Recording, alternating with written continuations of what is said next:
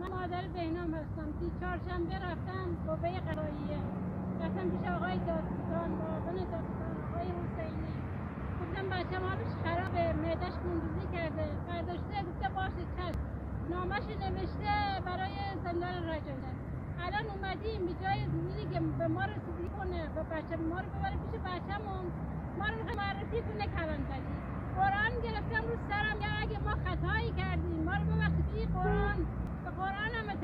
می‌کنن اینا دیگه. معلوم اینا کی کیان؟ بچه من چه گناهی کرده؟